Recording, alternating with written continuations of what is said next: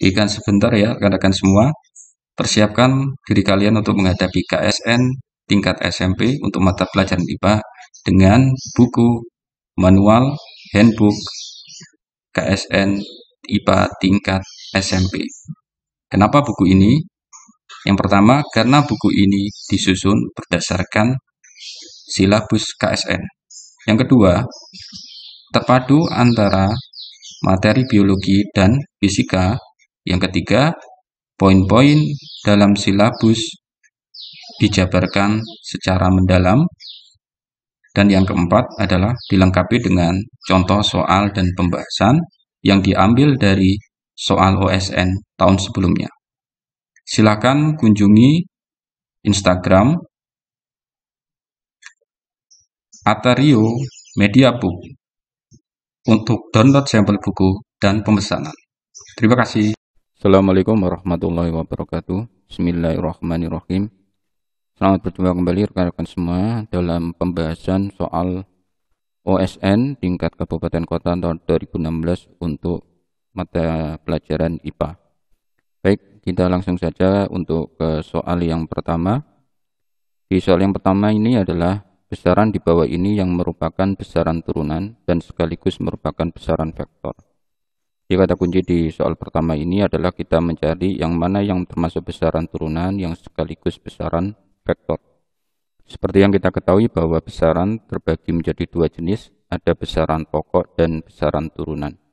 Besaran pokok terdiri dari tujuh besaran, yaitu antara lain massa, panjang, waktu, suhu, kuat arus listrik, intensitas cahaya, dan jumlah zat.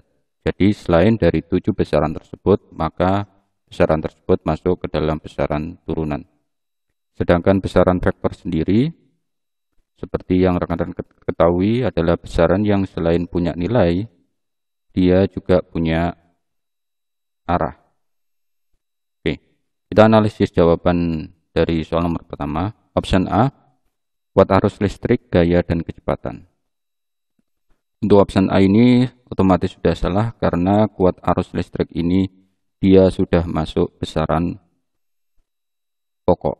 Sedangkan gaya dan kecepatan ini dia masuk besaran turunan sekaligus besaran vektor. Gaya dan kecepatan merupakan besaran vektor.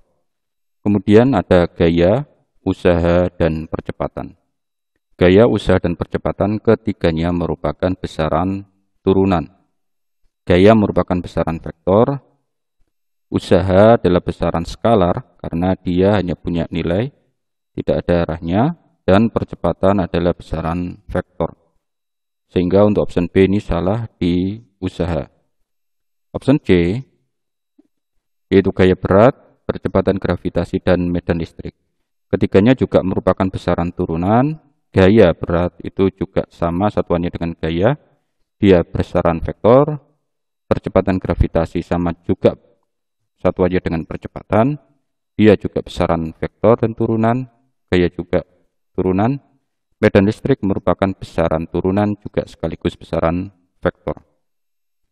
Kemudian yang option D ada temperatur, kelajuan, panjang lintasan, ini juga salah. Kenapa? Karena temperatur merupakan besaran pokok. Kelajuan itu besaran turunan namun dia adalah besaran skalar. Sedangkan panjang lintasan dia merupakan besaran pokok.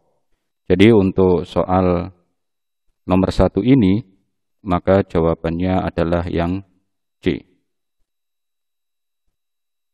Baik, terima kasih rekan-rekan semua. Mungkin ini saja untuk video kita kali ini. Silakan simak video selanjutnya untuk pembahasan nomor 2. Terima kasih. Assalamualaikum warahmatullahi wabarakatuh.